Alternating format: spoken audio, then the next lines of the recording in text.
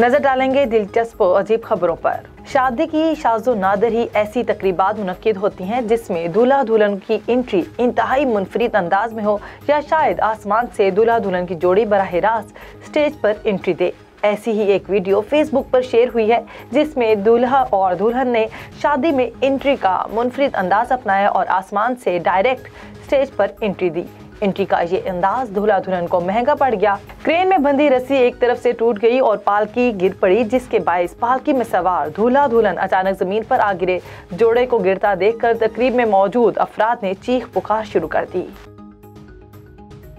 जानवरों के साथ इंसानों का नारवा सलूक को हर कोई दिखाता है, जबकि कई ममालिक में जानवरों से गैर इंसानी सलूक रवा रखने पर शहरियों को सजाएँ भी दी जाती हैं, लेकिन जानवरों के साथ हमदर्दी पर मबनी वाक़ात कम ही दिखाए जाते हैं। भारत में जानवरों को इंसानों की तरह सी पी आर फ्राम करने वाला इंतहाई मुनफरद वाक़ पेश आया है, जहाँ एक एंबुलेंस ड्राइवर ने सड़क पर बड़े बंदर को मुँह से सांस फ्राहम की और फिर उसके सीने पर हाथ रखकर दिल की धड़कन बहाल करने की कोशिश की।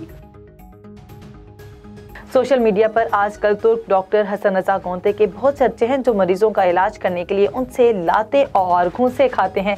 अलबत् वो इस खिदमत का मुआवजा भी लेते हैं। इस्तंबुल के रिहायशी डॉक्टर गुनेस का कहना है कि बाज नफसियाती मसाइल जैसे कि शदीद असाबी, तनाव और डिप्रेशन में सिर्फ़ दवा से काम नहीं चलता, बल्कि मरीज़ को अपने दिल की भड़ास निकालने का मौका भी मिलना चाहिए।